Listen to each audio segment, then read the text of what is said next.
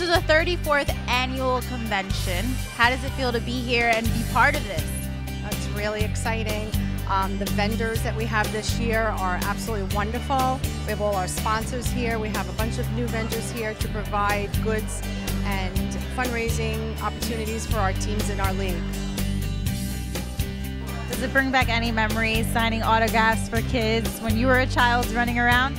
Yeah, of course. Um, I remember that when I was a kid, I always wanted an autograph from my all my all the players that I saw in the, in the TV and all the games.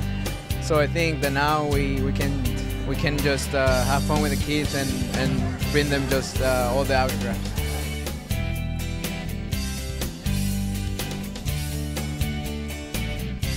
Hey, Marcos Senna here, and Jimmy Maurer, you are the best goalie in the world, and nobody says different.